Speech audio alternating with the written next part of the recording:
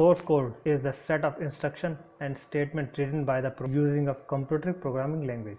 This code is later translated into the machine via compiler. The translated code is referred as object code. Source code is the source of computer program. It contains declaration, instruction, functions, loops and other statements which act as for the program on how the function. Programs may contain one or more source code text file which can be stored on a computer hard disk in a database or be printed in books of code snippets. Programmer can add comments to their source code to help other developer understand it. Short script can also be run from source code using a scripting engine such as VBScript or the PHP engine. While large program frequently refers hundreds of thousands of files, it is not uncommon for small programs to use just one source code. If there are many source files, the program may be organized into different sections. If a single file contains all the program variables and function, it can be hard to locate specific section of the code.